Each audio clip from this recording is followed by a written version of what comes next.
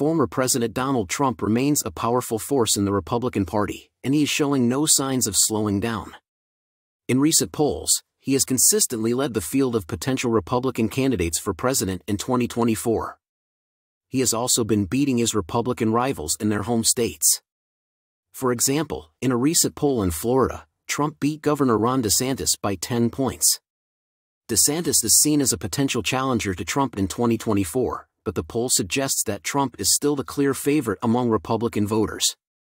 Trump's strength is due to a number of factors. He remains very popular with the Republican base, and he has a strong fundraising operation. He is also a very effective communicator, and he is able to connect with voters on an emotional level.